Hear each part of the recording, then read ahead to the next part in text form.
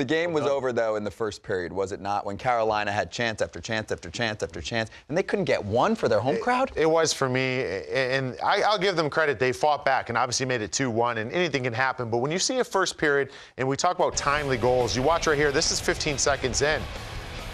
Teuvo Teravainen oh. going to lose some sleep over that one. And then you watch on the power play. Sure, their power play hasn't been great.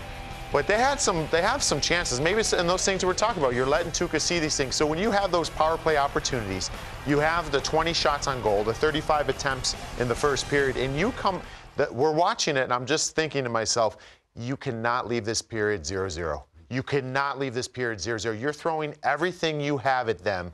If it's 0-0, this is the Boston Bruins game. And sure enough, in the second period, they get a Chris Wagner quick strike. It, the, the playoffs are about timely everything. It doesn't matter. You don't have to dominate from minute one through 60, but you got to get the goal. When you guys are pressing and you guys are humming, you got to get some results. And right now, they're just not getting those results.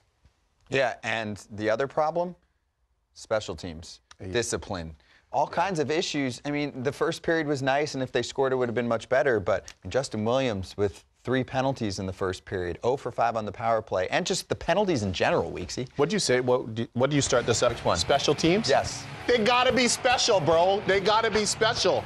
I mean, that's why they call them special teams, not average teams, not okay teams.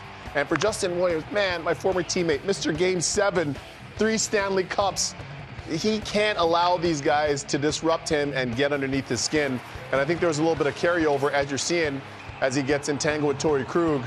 And I know he's trying to try to get the guys going, but these are untimely penalties. These are uncharacteristic penalties of Justin Williams. And he's always very honest in his assessment of not only his team, but also himself. And I'm sure he knows that these are penalties that kind of put them behind the eight ball because they disrupted their flow.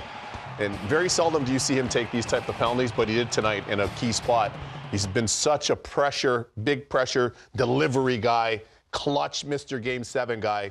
But this was uncharacteristic of him. But nonetheless, as again, Rupper, that disrupted their flow because that combined with the fact that the power play has gone icy on them at the wrong time, as you said, the timely factor it's not in their favor right now. Yeah, it's eh, you, they need to manufacture offense of some way. And, and, the biggest thing that their biggest attribute coming into this series was five on five hockey. Yep. And their power play hasn't been great, or hasn't been great really all season.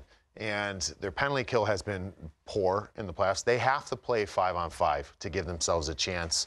Even at that, right now, the Bruins are clicking pretty good.